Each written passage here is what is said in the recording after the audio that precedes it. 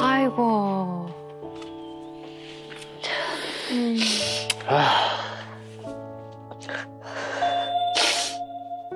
아유, 참 힘들어. 아휴.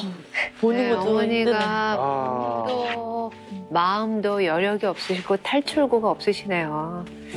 보니까 아까 둘째가 이제 금쪽이고 엄마한테 엄마 안아줘 안아줘 했는데 네. 훈육하시는 것 때문에 약간 좀 안 안아주시는 건가요? 아니면 특별한 이유가 있으신가요? 안아줘도 울고 음. 안 안아줘도 울고 하는데 이제는 때를 쓰는 시기가 왔기 때문에 훈육도 해야 될 것 같아서 음.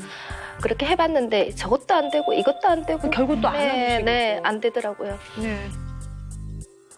일단 우리가 네. 일상생활의 화면에서 보면 지우가 좀 어떤 아이라고 보이세요? 일단 쪽쪽이를 제게서 찾는다. 예. 그리고 엄마한테 계속 안아달라라고 어. 요구한다. 분명히 지금 굉장히 욕구가 불만이다. 음. 어, 자 봤을 땐 네. 사랑을 많이 받고 싶어하는 마찬가지겠지만 그런 게 좀 강하게 보여. 근데 그게 충족되지 않는 것 같아. 첫째는 요 정도 주면은 얘는 만족을 하는데 얘는 약간 이 정도 줘야지 만족감이 드는 아이.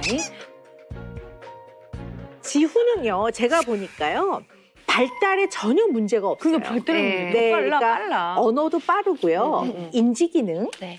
이런 것들이 나이보다 좀더 앞서 있어요. 음. 오. 그리고 이 아이는 똑똑한 상호작용 기능도 굉장히 좋은 편이에요. 네. 그래서 이 아이는 크게 문제가 없어요, 제가 봤을 때. 어, 우리가 봤을 때는 막 네. 뭐야? 이렇게 네. 쓰는데 문제가 이렇게 없다고요? 머리 아픈데 네, 이해 안 되시죠? 네. 그럼 얘 문제 별로 없는 애인데 왜 이렇게 때렸을까? 자, 제가 봤을 때 지우는 어떤 아이냐면요. 네. 자기가 해야 되는 말의 양과 어. 하루에 해야 되는 정서적 상호작용의 양이 있어요. 투머치인가? 그걸 다 해야 직성이 풀려요. 어머. 얘는 그런 아이예요. 예. 그래서 끊임없이 엄마랑 말하고 싶어요.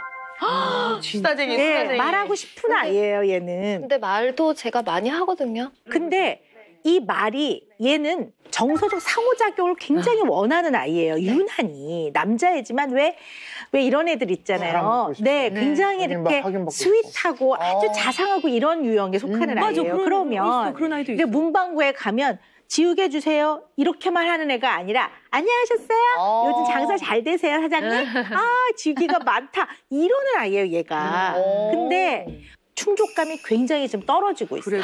자, 그러면 앞에 봤던 영상을 한번 우리가 기억을 해봅시다. 네. 네네. 이 아이가 이유 없이 일어나자마자부터 울었어요. 근데 맞아요. 우리가 봤을 땐 이유가 없지만 얘는 딱 깼을 때 엄마가 옆에 있고 음. 지우 잘 잤어? 굿모닝. 어, 이런 걸 바라는 애예요, 얘가. 얘가. 일어나자마자 대화해야 얘, 되는구나. 얘가 이런 애예요. 그리고 나왔어. 엄마가 안아줬잖아. 뽀뽀도 해줬잖아. 어. 네, 뭐 그런 날도 응. 있지만 그 정도로는 충분히 성이 안- 안 충족이 돼요. 그러면 더 요구를 한단 말이에요, 얘는.